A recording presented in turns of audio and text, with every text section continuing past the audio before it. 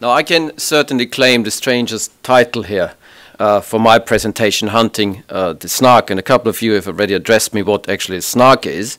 The younger generation's claim was that it is something from Harry Potter, but I assure you it's not.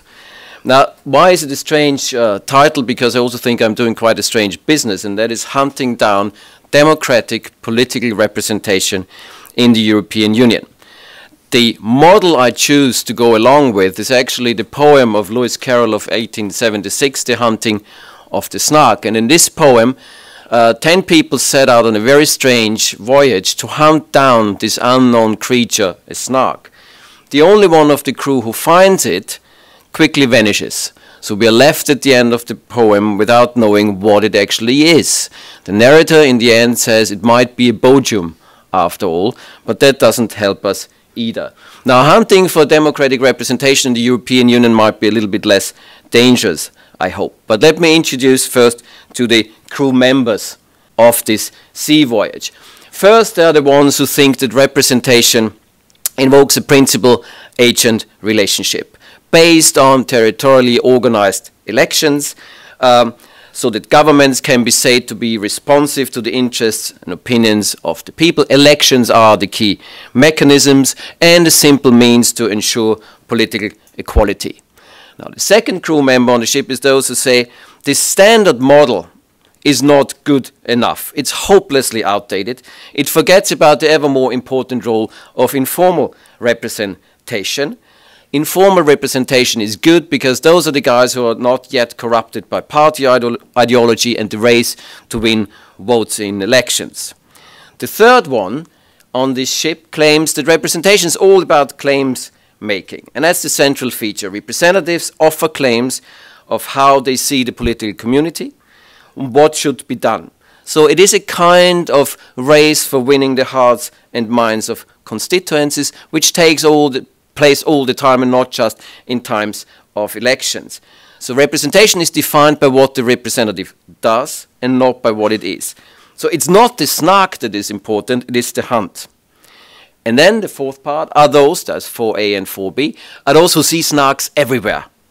There's not only one snark, there are multiple ones. There are parties, there are interest groups, advocacy coalitions, social movements, all those fellows. They all follow a different logic of representation.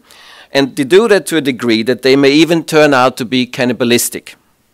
4b are those who say, well, we should follow the logic of group representation. And has an enormous advantage to have these multiple avenues leading to influence of the people, allowing citizens to influence policy making. And altogether, those modes guarantee a kind of democracy in the sense of non domination. That clearly rings the bell of a Madisonian form of democracy, the multiplicity of representation as a guarantee against electoral tyranny. Well, if you want to know, I'm obviously a follower of the model of 4B. Multiple modes of representation make up a system of representation. Our problem is that in a non-hierarchical, multi-level system, that can lead to non-democratic decision making. In fact, I would claim there is so much representation going on that no one represents any longer. But why do we need to think about representation at all? I'm making three arguments. The first argument is the functional argument. There are simply some challenges societies can't deal with alone any longer. Think about environmental issues, for instance. There's a moral and ethical argument that the externalization of costs is no longer acceptable, neither for people nor for societies. And then there's an institutional argument. We created systems of representation with the European Union that are far removed from traditional institutions of representation. Thus, we have to think about new forms of democracy.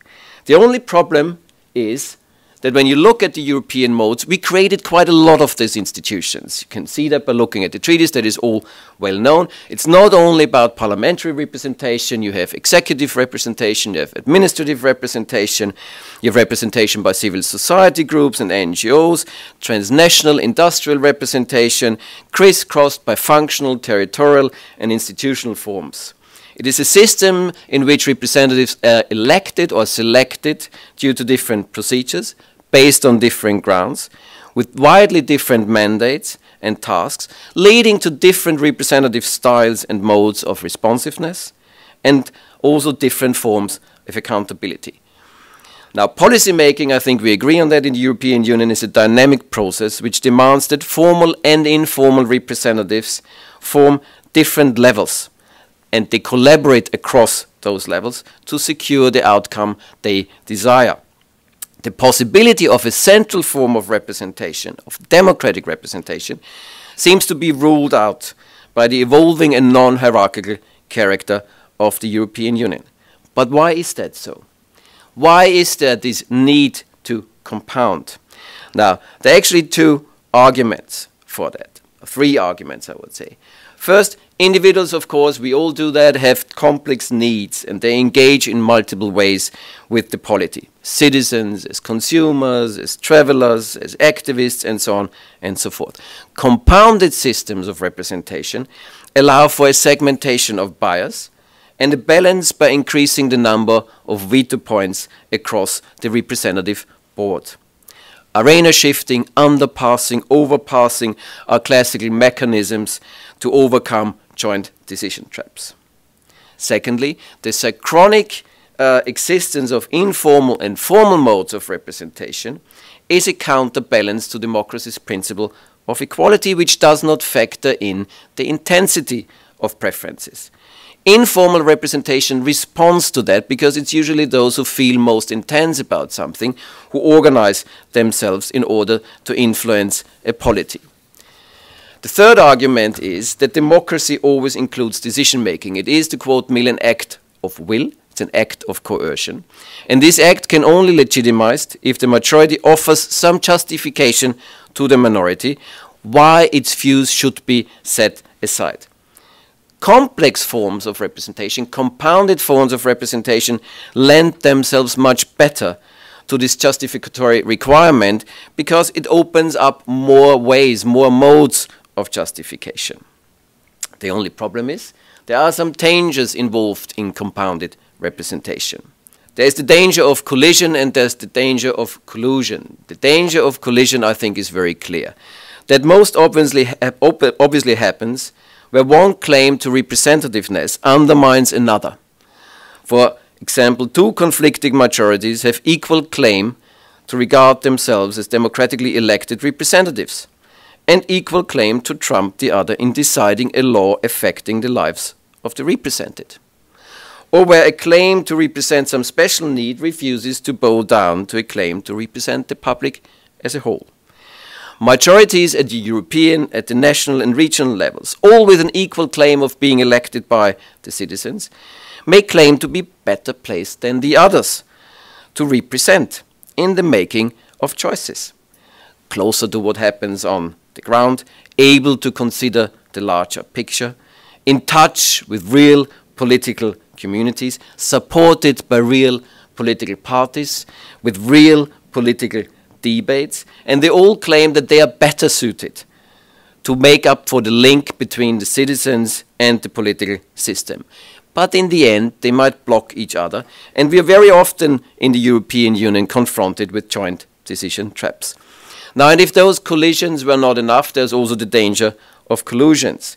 There's the risk that complex systems or compounded systems may be no barrier to collusion, between the representatives. Identifying who is responsible for what in the European Union has become increasingly uh, difficult, as all of you know who do process tracing. Already coming to my last slide. Now, what is it? In Lewis Carroll's poem, one interpretation at least says, the hunting for the snark is nothing but the hunting for happiness. So in the end, the ominous snark is nothing else but happiness in the end, democratic representation in the EU may follow pretty much the standard model of representation with a few deviations. The deviations are first of all due to the European Union's lack of kind of distinct audience that we have at the national level. The electoral bond is weak. Accountability structures are fuzzy. The distance between the EP and its voters is quite considerable and intermediate institutions like parties are only developed rudimentarily. So there are four conclusions you could draw from them. And that very much depends on your state of mind for which one you go, I think. First one is that we accept we can only have democracy in bits and pieces. Democracy is moving in the European Union at a snail's pace, but at least it's moving. The second one is we could accept that democracy simply doesn't work beyond the size, beyond a certain size of a polity. The third one is it's all about the citizens. The citizens are not really interested. It's this kind of Schumpeterian view of the citizen. They have the right to be disinterested in public affairs. And the last one is probably the most uh, strange one. There's an institutional adaptation need. Let's follow Joschka Fischer, institute a Senate of national MPs and a commission. Forget about the council. It claims to represent, but so can everyone. So MPs and MEPs are probably the only ones who represent, and that is enough. Thank you.